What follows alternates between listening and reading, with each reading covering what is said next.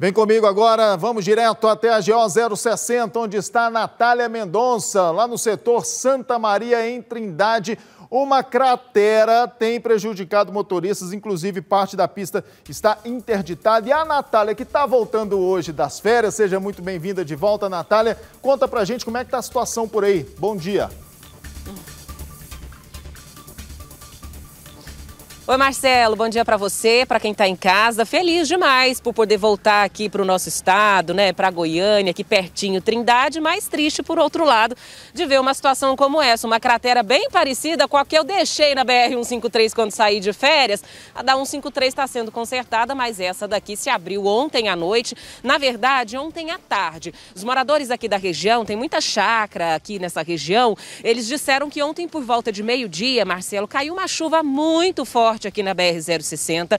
E como aqui é a baixada da BR, a água da chuva, é claro, escorre para cá. Então ela vai caindo ali e por causa dessa quantidade muito grande de água que caiu aqui ontem por volta da hora do almoço, no período da tarde, ali finalzinho da tarde, eles perceberam que um buraco foi se abrindo, começou o claro pequenininho e o negócio foi crescendo. Diante disso, as autoridades já mandaram para cá, pelo menos o pessoal da polícia, para fazer a fiscalização de trânsito e fazer também também uma interdição desse lado de cá da BR-060. O Cisney, você consegue mostrar lá na frente? Ó, esse é o sentido, Marcelo, de quem sai, por exemplo, de Goiânia ou de Trindade, com sentido a Anicuns, São Luís dos Montes Belos, enfim, fica para lá. E quem vem também Trindade, para Trindade, para Goiânia. A gente percebe que o trânsito está bem congestionado ali, né? O pessoal da Polícia Militar tenta conter a movimentação de veículos, desviando esses veículos para a lateral, ou seja, essas pessoas que estão vindo de São Luís dos Montes Belos, Santa Bárbara, Anicuns, essas pessoas vão ter que passar por dentro de Trindade caso queiram seguir reto pela BR-060. Agora, quem vem de Trindade com sentido a essas cidades, aí sim pode pegar a pista do lado de lá da BR-060. A gente até percebe, Marcelo, que existem algumas máquinas aqui, pessoal que deve começar a trabalhar nesse buraco mais tarde, mas pelo menos por enquanto ninguém trabalhando, tem essa interdição até mesmo para um cuidado, né, um zelo com esses motoristas, mas por enquanto Perdão, estou falando BR, né? É GO 060, perdão, que liga Trindade, Goiânia, enfim. Por enquanto, ninguém aqui consertando esse buraco. É claro que isso deve acontecer mais tarde.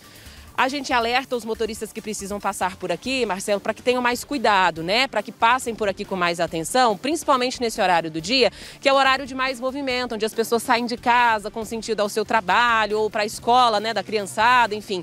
Trânsito já costuma estar tá mais normal nessa sexta-feira, diferente do que a gente viu no feriado, então tem que ter cautela. Quem for passar por aqui já sabe que vai demorar um pouquinho mais, vai devagarzinho e aqui no chão que a gente percebe são as rachaduras, bem parecido com o que a gente via na, na BR 150 153, no comecinho daquela cratera, viu, Marcelo? Muitas rachaduras, perigoso, inclusive, ficar aqui. A gente está tentando se manter um pouquinho mais distante. E ali mais próximo do buraco, o Sidney até me alertou mais cedo que tem uma manilha ali que praticamente quebrou. E a gente vê o guarda-reio aqui completamente suspenso, muita água jorrando ali de baixo. Tem uma mina do outro lado da pista, de acordo com os moradores.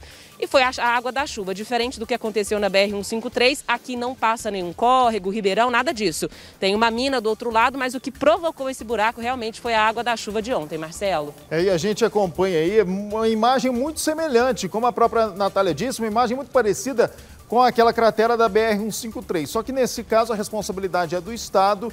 No caso da BR-153, a responsabilidade é da concessionária que administra a rodovia. Os trabalhos por lá ainda não terminaram, Ainda existe aquele desvio na BR-153 e no trecho da GO 060, e pelo que a Natália já mostrou, já tem um desvio, movimentação intensa. Daqui a pouco, inclusive, a Natália volta trazendo mais informações e mostrando o, o trânsito e o tráfego intenso nesse trecho da BR, principalmente para quem está tá indo no sentido contrário. Já já, Natália volta então ao vivo, direto de Trindade, GO 060, área urbana ali em Trindade.